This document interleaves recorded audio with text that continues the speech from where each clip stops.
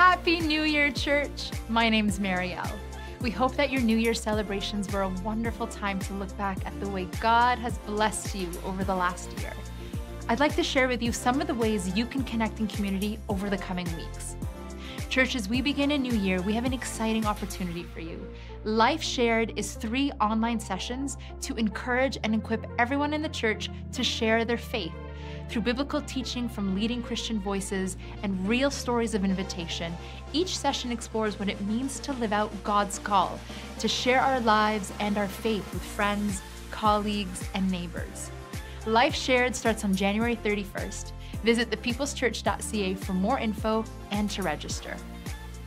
This year might be the year that you are hoping to connect deeper in community here at Peoples, and we have some great opportunities for you to join a life group, attend a discipleship course, or maybe you want to serve on a team. If that sounds like you, we have some new opportunities starting throughout January. Visit thepeopleschurch.ca for ways on how you can connect today. Church, let's continue to be inspired and challenged for God's global mission. We are together in God's global mission to reach everyone, everywhere. As we experience Christ, embrace community, and engage globally, we are made one.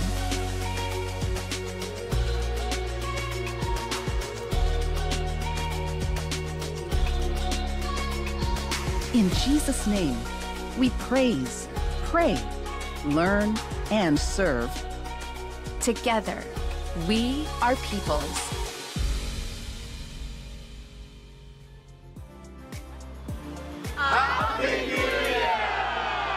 My name is Benson Ochen, and we are celebrating New Year with you in Uganda. And we are part of the team of I Live Again Uganda, where the Lord has called us to build peace through trauma counseling, discipleship, resettlement, and community development. We are glad to be part of the People's Church Global family. And this morning, as we are going to begin our worship, I'll be taking our reading from Acholi Bible in 2 Corinthians chapter 5, verses 17 to 18. En mumio kangan mo tie in Kristo, en dong beru gin magiker manyen. Gin machon dong no urenyo wako, gin manyen dong ulega kare. Meno dujo tij malo bao tiyo, mayam udwako wa kwere bore, pi Kristo, dok bene umiye wa tij me dwako dano bore. Let us worship the Lord who makes all things new. Amen. He makes all things new. Happy New Year, church. Yeah. Happy New Year to all of you at home who are with us as well online. It's so good to be together and to start this new year off worshiping our King. Amen. So, God, we submit to you all our praise, all our lives, our thoughts, our actions. May they bring you glory. We love you and we worship you today. In the name of Jesus, amen. Amen. Church, would you stand to your feet if you are able and turn around and give someone a Happy New Year greeting today? Would you? Come on.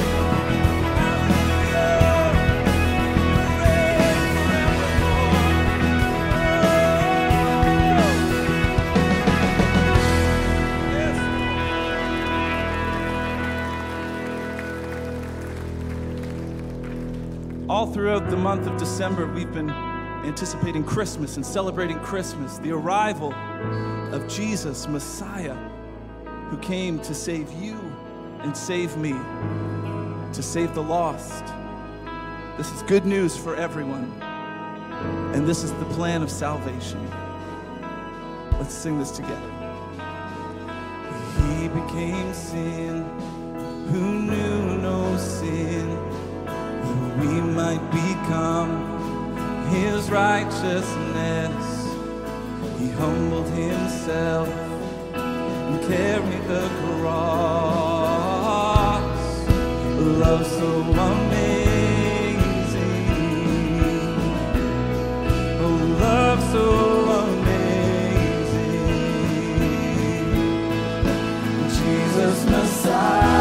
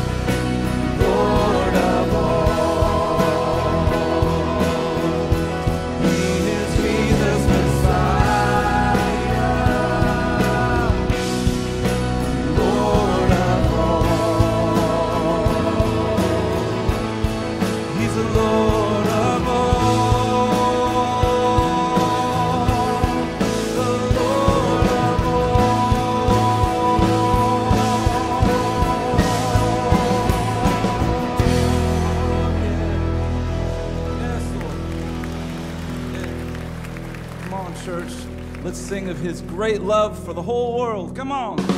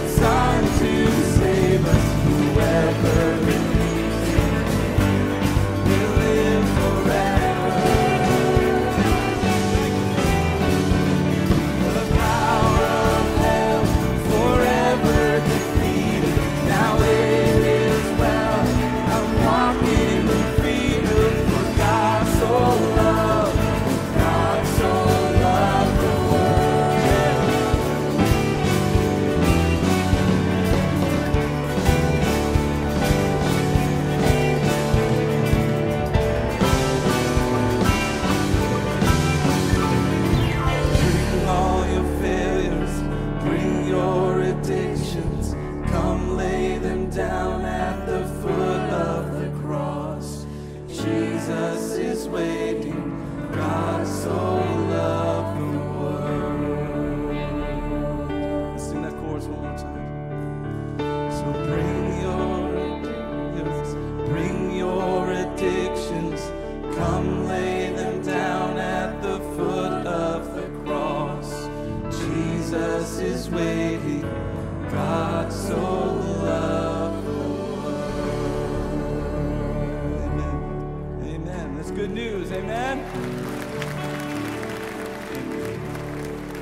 continue our worship together today, taking communion. So, church, please take your seats.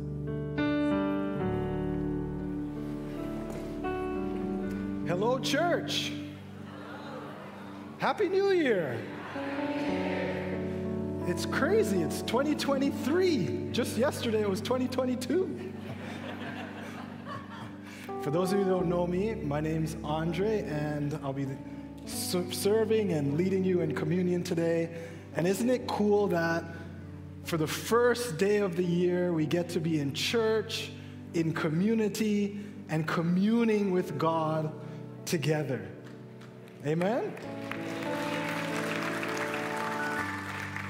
And I always find this time of year kind of interesting because, you know, not too long ago, we were very focused on holiday traditions, and now we've transitioned to New Year's traditions.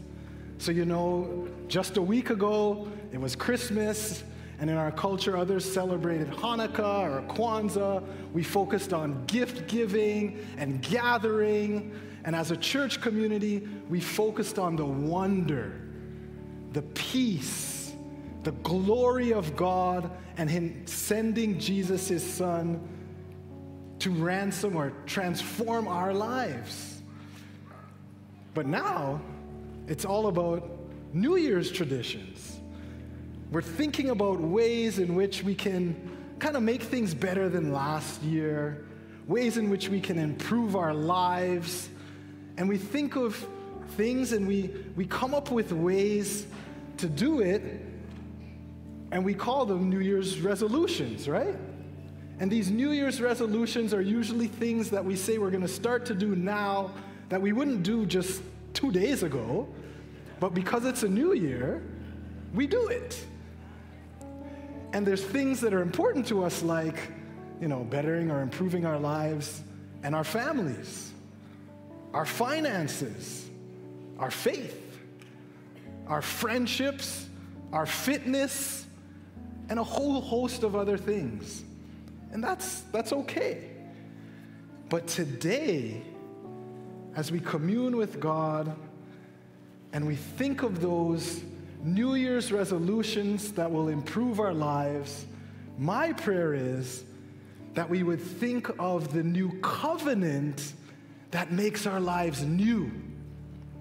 We would think of Jesus' blood in the new covenant that was shed for us on the cross, that just doesn't make us a little better.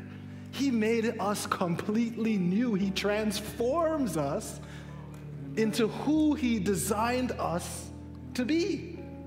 And he does this when we believe in the body, which we're going to eat in this cracker soon, and we believe in his blood, which we're going to drink in the juice, both as symbols of him sacrificing everything because of, as we sang, he loves us. And when we believe, we believe he transforms our lives by giving us himself, God the Spirit. And that Spirit makes our lives new. He works in us and through us. And so, my prayer is as we think of all the things that we're going to resolve to do in our own strength,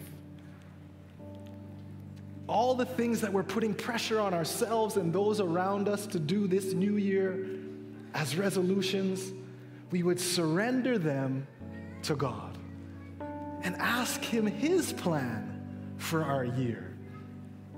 And I even wonder, as we surrender our New Year's resolutions and our plans for our future to Him, which ones would He say yes to?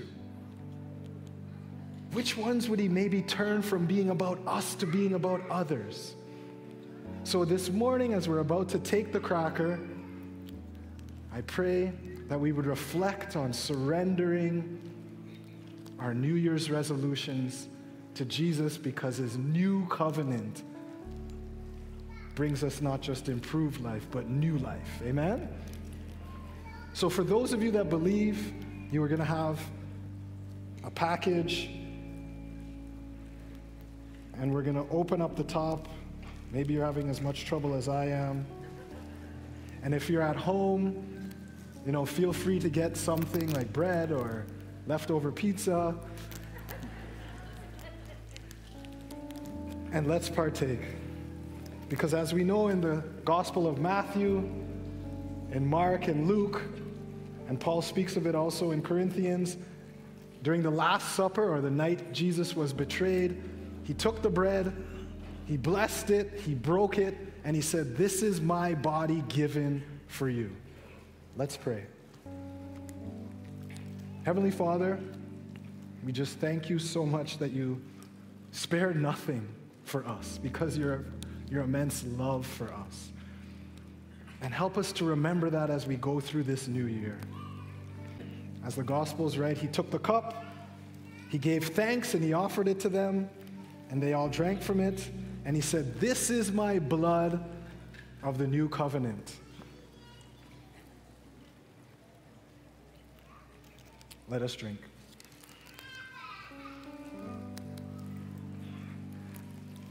And Heavenly Father, we thank you so much again for your willingness to give it all, to sacrifice yourself for sinners such as us. You took the punishment that we deserved so we could be reconnected back to God, that the Spirit could indwell us once again, and help us to live this year surrendered to your Spirit and your will for our lives. In Jesus' name we pray. And everyone said, Amen.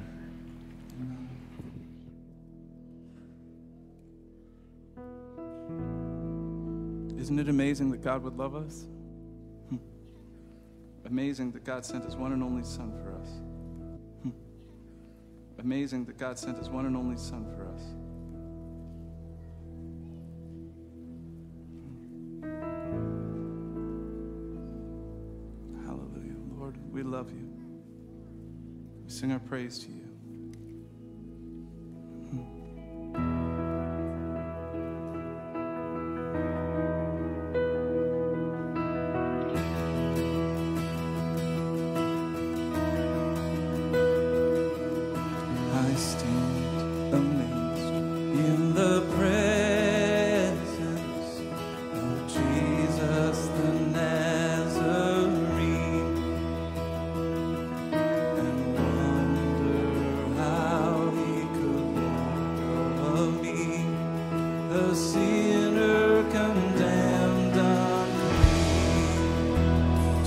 You stand as we sing this song together?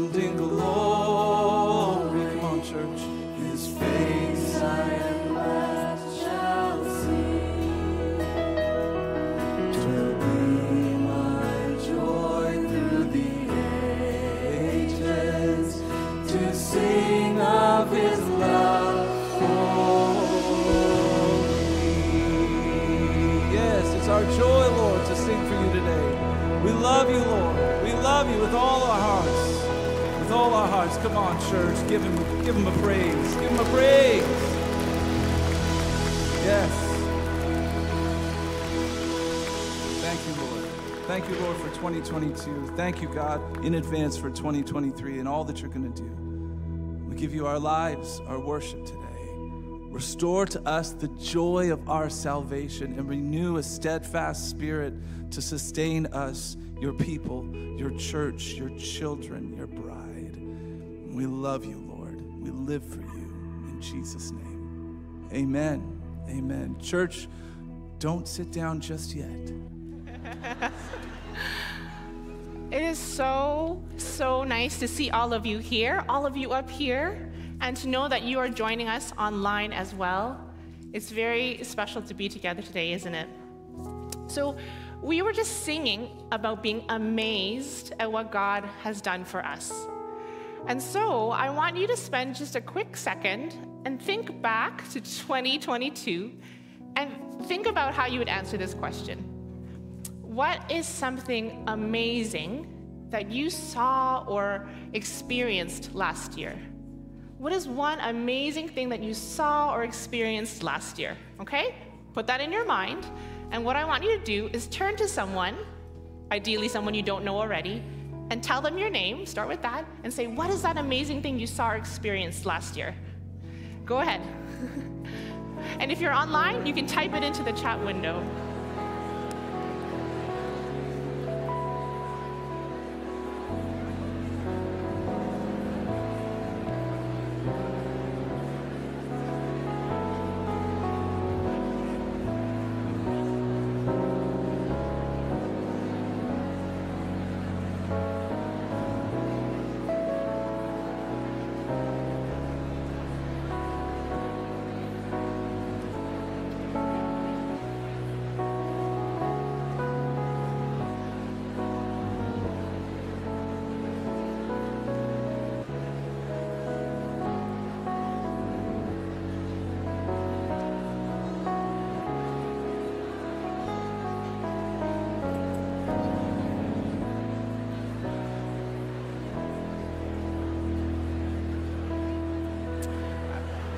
Beautiful. So please have a seat when you're done. So see if you can remember that person's name and you can pick up the conversation later. So you may, like me, have found it hard to decide and figure out just one thing. But I wanted to offer some encouragement, which I read in Psalm 71 just the other day. It says there that my mouth will tell of your righteous deeds, of your saving acts all day long, though I know not its measure. Or in another translation, although I don't know how to relate them all, or even, even though I'm not skilled with words. And so I encourage you that I love that the Bible knows that we may not feel really eloquent or so philosophical or have it all figured out. But the Bible does say, yes, come, praise, proclaim about what God has done in your life and how powerful and how wonderful that is. Let that praise bubble out of you. And so I want to welcome if you, if you are new in particular. And so after the service, we would welcome you um, to go over to the Connection Center just behind these doors so that we can get to know you and that you can also get to know our church and how to get more involved. And I know today there's families and kids with us. Hi, all the kids. And so we welcome you that if you guys, um, if the kids just need a little bit more freedom or space, feel free to head out to the um, cafe or to Founders Hall if any families need that. Um, you can just ask the ushers where, they're, where that is for this service. So, we're also glad that you're here today because we also want to share with you about some of the beautiful things that are happening at People's Church and also with our brothers and sisters around the world. So, at our recent staff Christmas gathering, I went and just asked some of um, my colleagues what are some of your highlights from the year uh, in your ministry area. And everyone kind of had this um, wondrous pause and looked off into the distance. And just like you, all these wonderful things started coming out about how they have seen themselves transformed and how we've seen transformation through the power of God in so many of you. And we talked about baptisms, family dedications, premix, remix, all of these beautiful things that show that God is definitely at work in and through us. And so, to kind of continue supporting the work that's happening here at People's, you can give tithes and offerings to the church ministries. You can also support things in the community through the benevolent offering, and also support the work of our mission partners here in Canada and worldwide through the um, Global Mission Fund. So there's many simple and secure ways to do that. You can do it through text by texting the word People's Give to 77977. That's the number. Or if you brought your gift um, in person, you can drop it off outside. So, at the start of the year, why don't we bow in prayer to the Lord?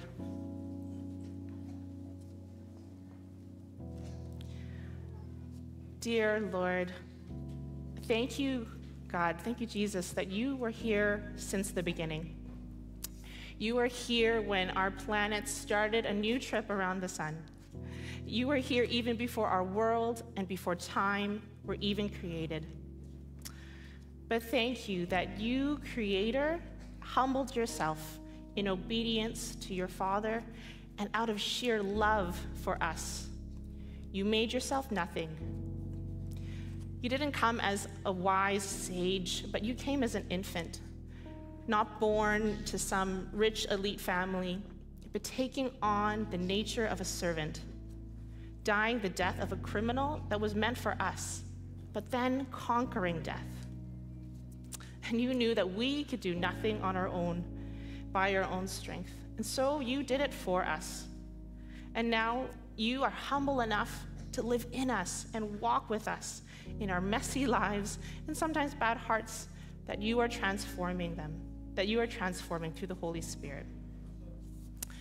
Lord, as we put away all the stuff of Christmas, help us to not shelve our wonder although the sparkly lights are put back in their boxes, Lord, help us to marvel at your creation and then worship you as our creator and sustainer. May the amazement of our death to life make us want to jump out of bed every morning just as much as Christmas Day. And then, just like the song says, your power and your glory evermore proclaim. And Lord, we lay before you the plans that we might have. And Lord, help our ambition and our striving not to run ahead of your grace. Forgive us when we think of ourselves too more highly than we ought.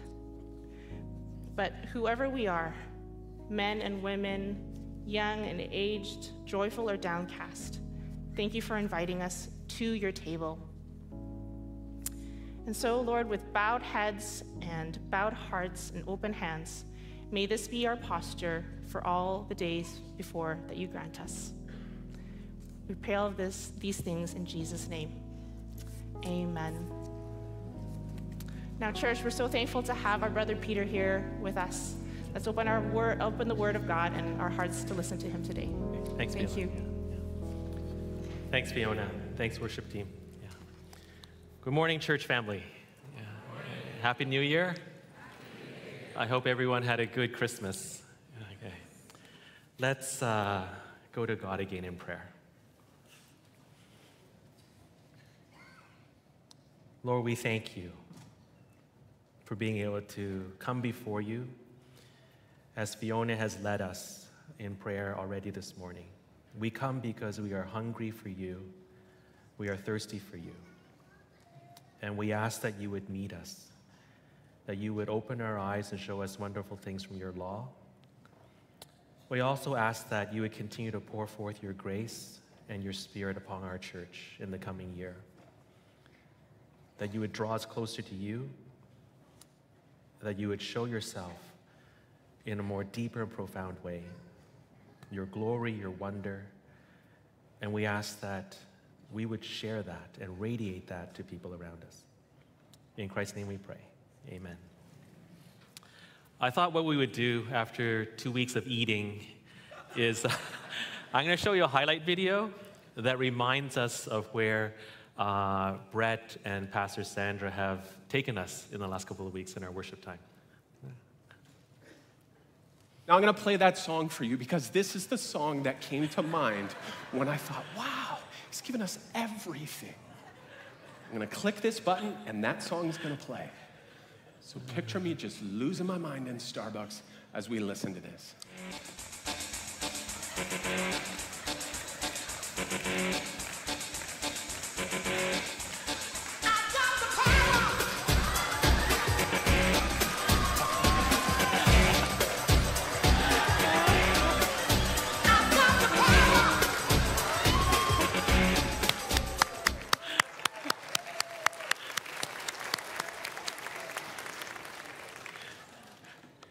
We have an amazing lead pastor.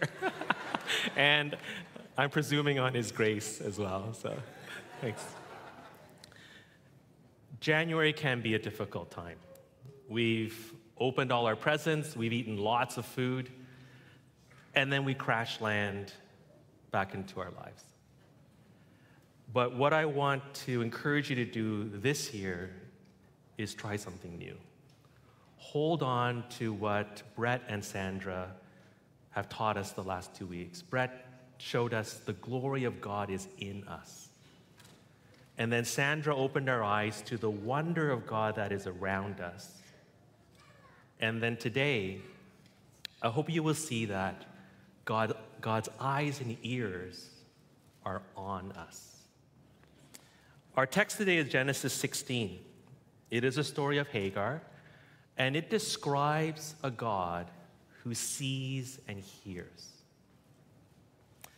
When God sees, it is more than just being aware of our existence. When God sees, He cares. For God to see, He cares. And when He cares, He acts. Our story begins with the two words, now Sarah. Those two words indicate that we're into the next episode of the Abraham story.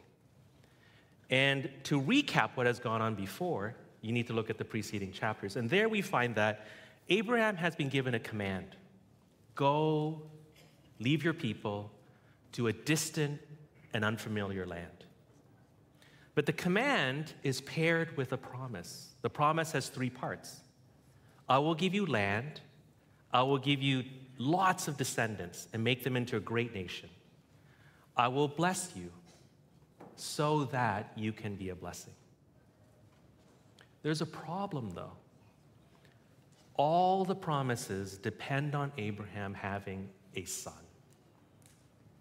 and he doesn't have one. There's a little short verse at the end of chapter 11 where we find that Sarah was barren. She had no children. The repetition emphasizes the comprehensiveness of Sarah's childlessness. She was barren, she had no children. Now, what are the options for Abraham to have a son? He could have a son with Sarah. He could have a son with a woman other than Sarah, or just not Sarah. Now, one option is adoption. He could adopt a relative, Lot. He could adopt a trusted servant. That was a custom in the ancient Near East. If it's with another woman, he could pursue surrogacy. An ancient Eastern custom was Abraham would sleep with one of his wife's maidservants. The child that was born would be classified or considered as Sarah's. Another option was he could take a second wife. In Genesis 13, God eliminates Lot. He's not a candidate, Abraham. Sorry. In chapter 15, God eliminates Eliezer, the trusted servant that Abraham thought he was now having to adopt. The other thing God makes very clear in Genesis 15 is that son would come from Abraham. But he was silent about who the mother would be. Abraham, you're going to be the father. He doesn't say anything about who the mother will be. That is where things stand when we enter chapter 16. In the first two verses, we're introduced to the characters that will be in our story. The first character is Sarah. She's introduced by her given name. Then we are told her position, her relationship. She is Abraham's wife. The next thing we're told creates tension. She's Abram's wife, but she had borne him no children. There is a contrast between her role as the wife and her childlessness. The ancient Near East was a time and a culture where a woman's esteem and her identity and her worth was tied to her ability to have children. She has the role of being the wife, but she is unable to fulfill her expected role of bearing children.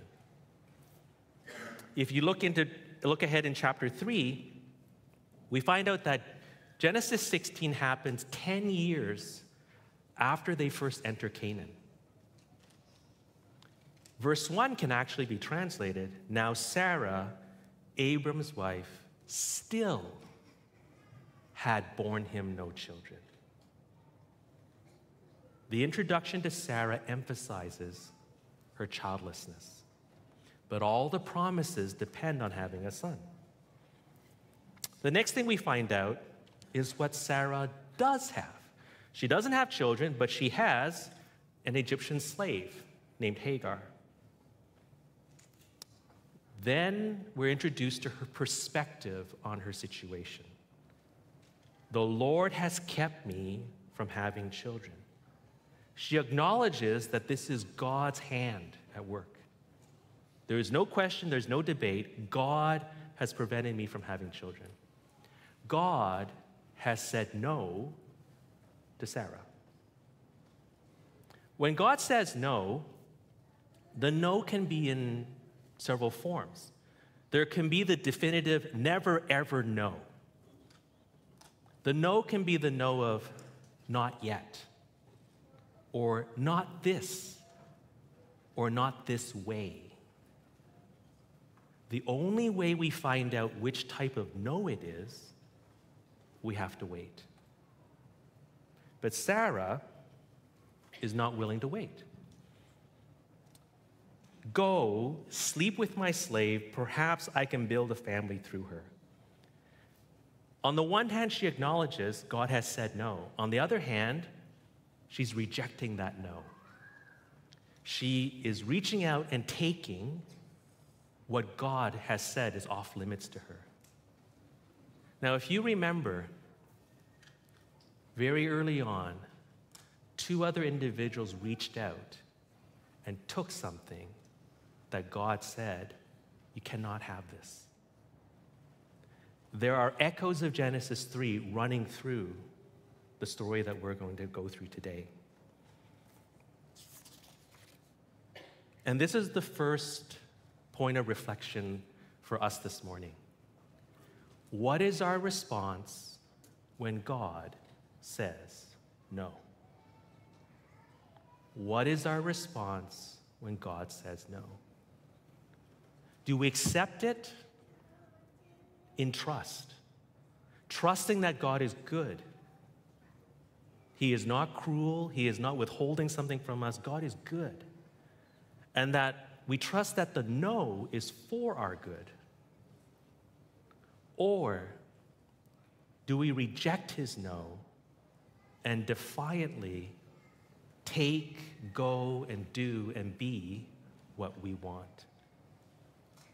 What is our response when God says no? Let me illustrate this point. So, imprisoned in this cage with a lock on the door is fried chicken. God and my wife and my girls have said, no fried chicken for you, Peter.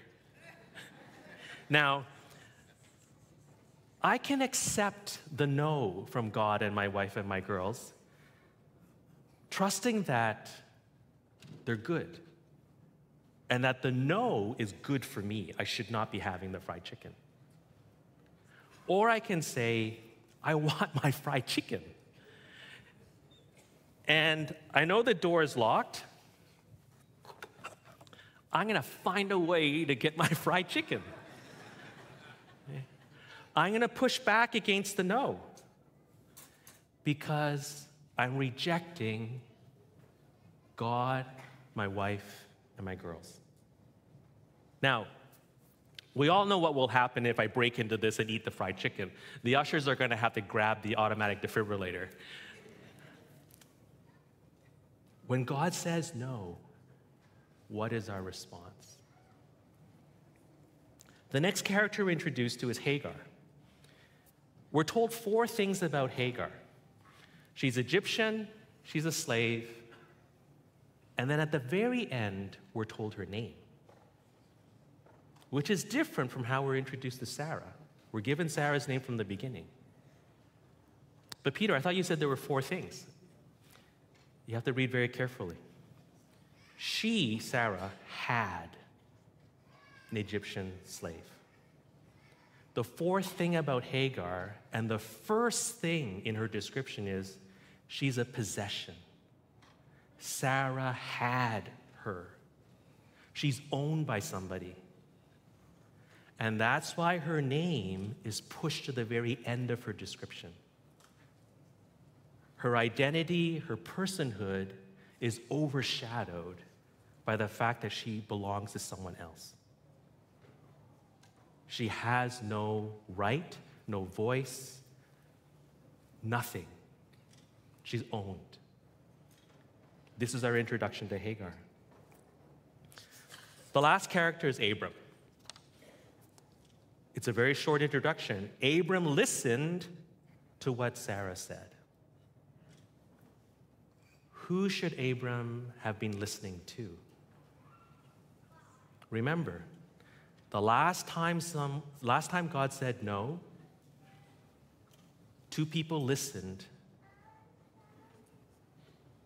to an individual other than God. The echoes of Genesis 3 are running through this. What is our response when God says no? Abram brings us to our second point of reflection. As we enter the new year, who are we listening to? What voices are we listening to? Who are we not listening to?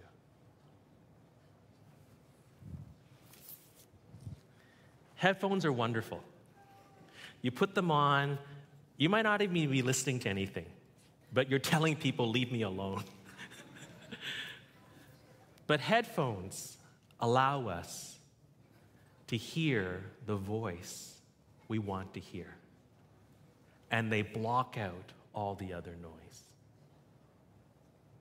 Who are we listening to? Are we focused and tuned in to God? And are we able to block out all the other noise, all the other voices? Well, to carry out the plot, Sarah, his wife, took her Egyptian slave Hagar and gave her to her husband to be his wife. Notice the verbs took and gave. Hagar is an object. Okay? And the dynamics within the family are turned upside down. The slave girl now becomes a wife. The wife has to share her husband, co wife. Maybe she might consider herself the first wife, but she's also the older wife. And you actually wonder did Sarah really give Hagar to Abraham? Or did she give Abraham away to the servant girl? In the same way, Abraham gave her away to Pharaoh several chapters earlier. Hagar gets pregnant. And as the reader, you know this is not going to end well. because the slave girl started off beneath her mistress.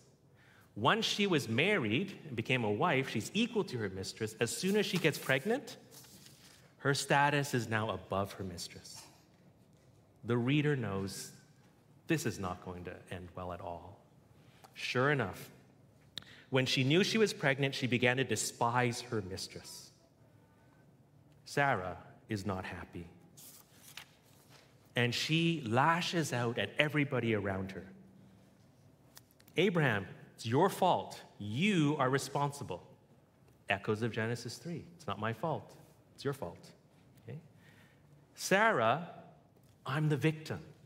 The wrong that I am suffering. I put my slave in your arms, and now she knows she is pregnant. She despises me. Sarah is not taking responsibility for her actions. What she is emphasizing is her victim status. I did this for you, Abram. I did this for us so that we could have a son, and now look what has happened. She lashes out at Hagar. She despises me. And then lastly, she invites God into the conflict.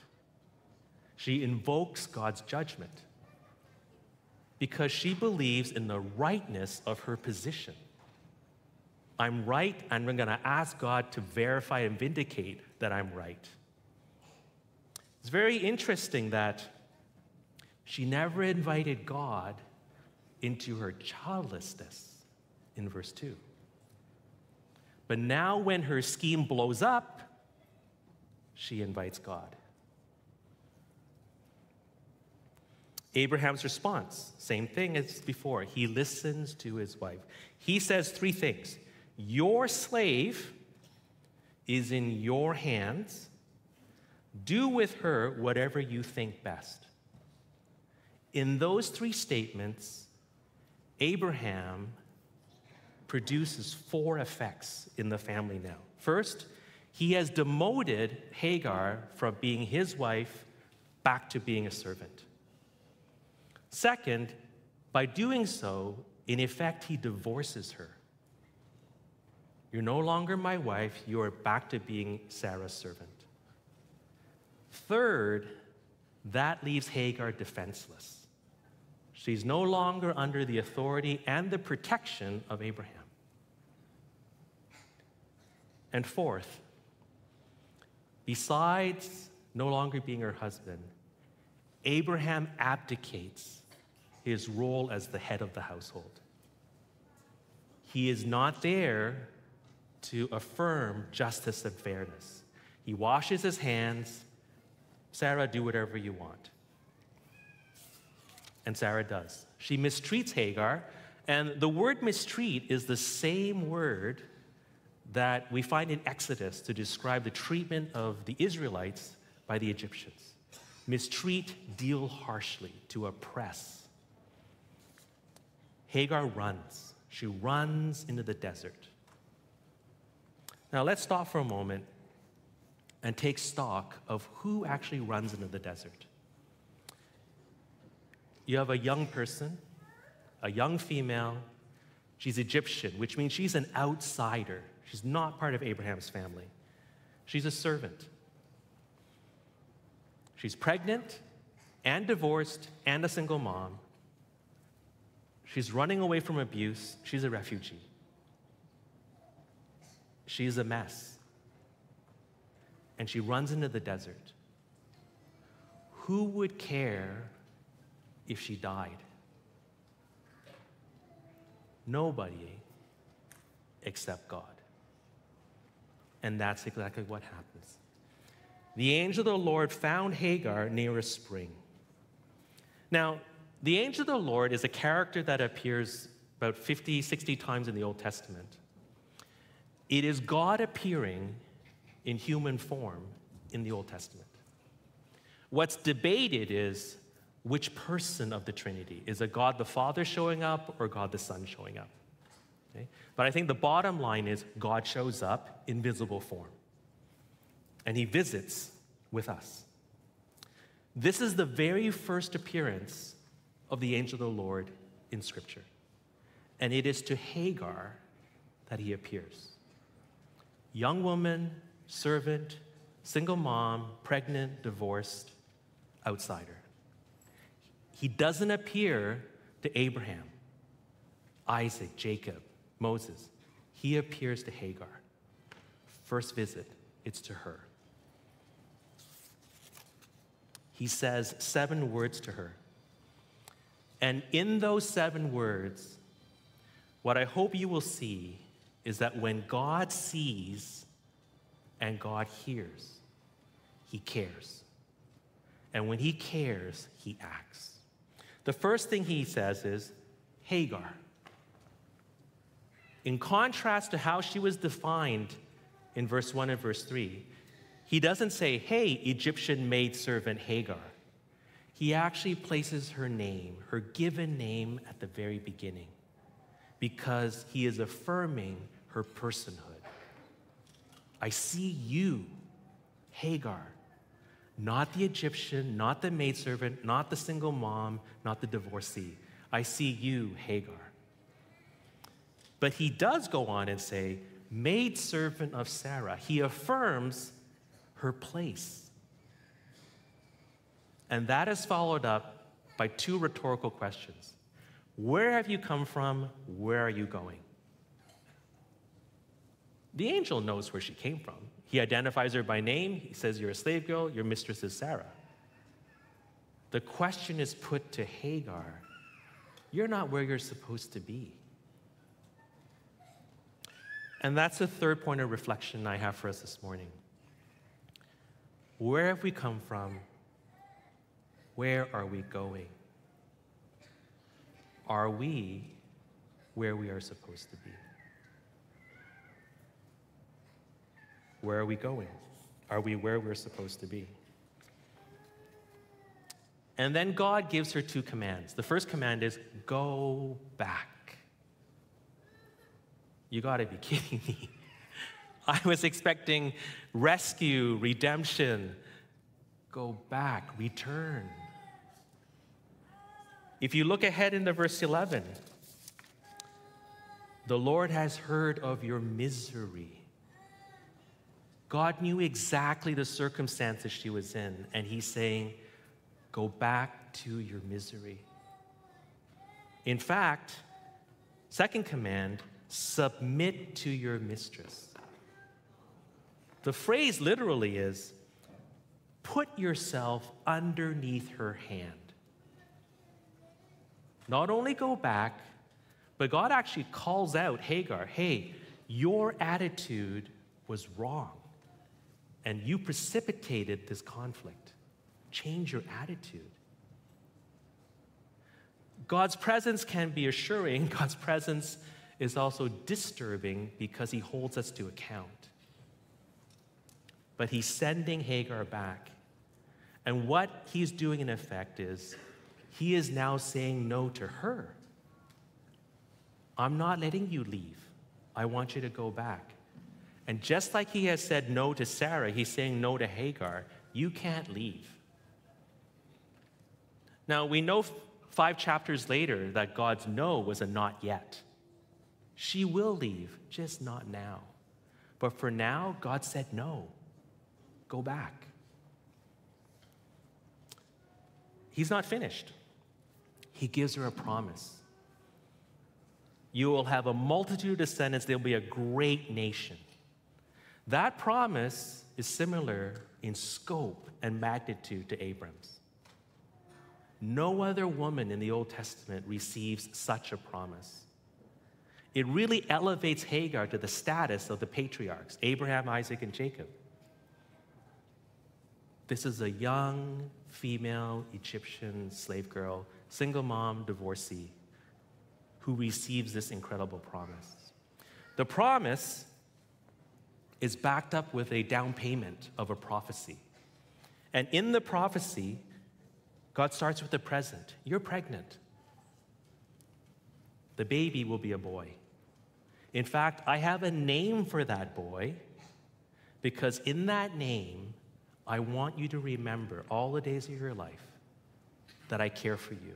Ishmael. God hears. Because when God hears, he cares. The prophecy goes on. It's bittersweet. It describes the character, relationships, and life of this son. The analogy of, of a wild donkey refers to the fact that this son will have a nomadic, independent, strong willed existence. God also refers to hostility and the desire to be different. But nevertheless, this is an amazing gift that he gives her. What's Sarah's response? She gave this name to the Lord who spoke to her You are the God who sees me. For she said, I have now seen the one who sees me. And then she names the well accordingly. Sarah's response is one of worship. In contrast, sorry, Hagar's response is one of worship in contrast to Sarah's when God says no. Hagar's realized I'm not just talking to a regular man, this is God. And she understood that this God had showed up, made himself known to her, and cared for her. And in response, she worships. Now, she couldn't bring anything as a sacrifice, as an offering. She had nothing. What she gives God is a name. She is the first and only person in Scripture to give God a name. The audacity, the boldness, but also the innocence. She didn't know you couldn't give God a name. She just went ahead and did it as an expression of her worship and her gratitude. You are the God who sees me. What she is really saying is, You are the God who cares for me. In her explanation, I have now seen the one who sees me. She is voicing, I have met, I now know the God who cares for me. For she understood that for God to see, it meant that God cared for her. Why should she worship? Her circumstances haven't changed. God said, Go back to the misery of your life and submit, change your attitude to your mistress. She worshiped because Hagar realized what she didn't need was removal from her circumstances. What she needed was God who cared for her. And in response to that meeting of God, she worships Him. What happened to her in the desert, by the side of the road in the spring, was her burning bush experience. Just like Saul, Paul meeting Jesus on the road to Damascus, she met God and her life was changed forever. The story ends very quickly.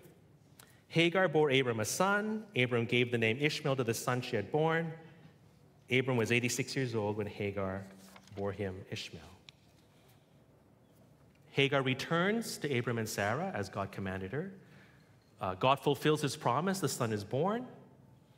And Abram names the son Ishmael, implying that Hagar probably told him what had happened, what the angel had said to her. And Abram believed the truth of what the angel had said. Notice who's missing at the end of the story. Sarah dominates the story with all of her manipulation. At the end of the story, Sarah's absent, Sarah is silent. For all of her manipulation and scheming, she's out of the picture. Why are we told Abraham's 86 years old?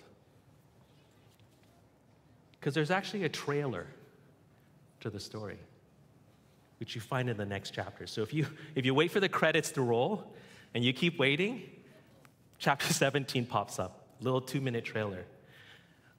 What you find out In chapter 17, Abraham is now 99 years old. The age 86 and 99 are given to us so that we know how old Ishmael is. He's 13. For 13 years, Abram and Sarah think Ishmael is the son, the promised son. Sarah thinks her plan worked. She outmaneuvered God. And then in chapter 17, God drops the bombshell. It's not Ishmael. I'm going to give you a son a year from now. You, Sarah, and Abraham, you too will have a, a son. God can let us continue down our road of disobedience for 13 years or longer. It was an act of grace that He broke into their lives and corrected their course. He didn't have to. What is our response when God says no? Think very carefully about that. Let me close by going over the four reflective points that I had. The first is whose voice are we listening to? Whose voice are we not listening to? The second question where are we going? Am I where I'm supposed to be? The third question Do I see the way God sees? When God sees, it's more than just awareness of existence. When He sees, He cares. And because He cares, He acts.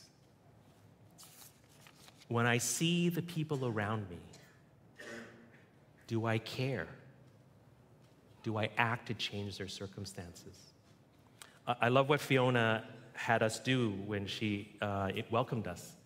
She had us share with the people around us something that happened in our lives. That's part of seeing. Finding out the names of the people that we sit with, finding out what their jobs are, what their families are like. Do we see? The fourth question is what is our response when God says no? Do we trust that He's good and the no is for our good? Or do we say, no, God, I'm going to say no to your no. I'm going to take and do and go and be what I want? The last question Who cares? about us. Remember who Hagar is? She's young. You may be thinking, I'm young or I'm old. God doesn't care about me. Hagar's young, she's a woman, she's Egyptian, she's an outsider, she's a servant girl. Single mom, pregnant, divorced, she's running away from abuse, she's a refugee, She's a mess. Not someone you would think the God of the universe would care about, but he did.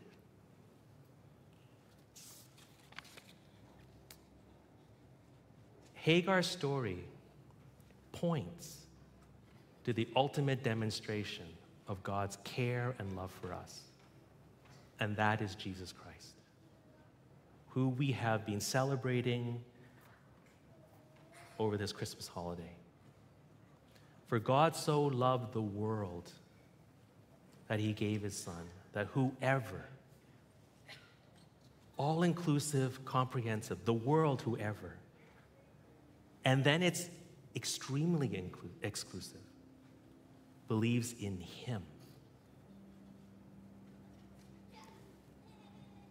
Sarah said, I have met the God who cares for me. Do you want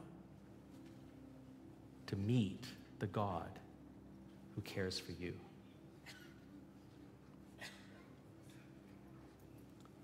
I think on January 1st, if you don't know this God who cares for you, this is a great opportunity to meet that God. And if you do know that God, make the decision I want to know you more. I want to know more about how you care for me so that I can tell others. Let's pray.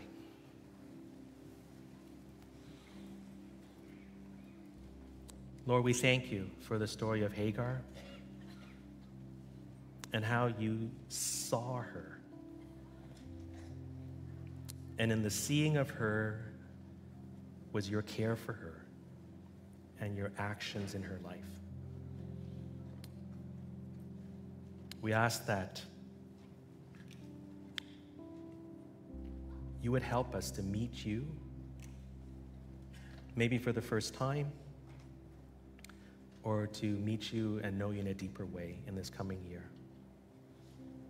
In Jesus' name we pray. Amen. Thank you. Thank you, Peter, for helping us, for knowing God so well, and for helping us to know Him better. So, friends, would you stand as we just close our service? I just have a few, few announcements uh, before I send you off with a blessing. So, as Peter said, if you would like to pray with someone, then please, would you stay behind after service? You can come up to the front, and a member of our prayer team will come and pray with you. If you're online, you can do that as well. There should be a request, but, request prayer button that you can click. If you want to continue some conversations with people, or if you're new, you can, you're welcome to do that outside. And lastly, I just want to um, bless you and pray with you a prayer that I'm certainly praying myself for this new year ahead from Psalm 71 that we talked about earlier. It says here, and we pray this But as for us, we will always have hope. We will praise you, Lord Jesus, more and more. Our mouths will tell of your righteousness, of your salvation all day long. Though we cannot know its full measure, and even if we aren't skilled with words, but we will come and proclaim your mighty acts, O sovereign Lord. We will proclaim your righteousness, yours alone. Amen. God bless you. Have a wonderful week, year. Thank you for being with us.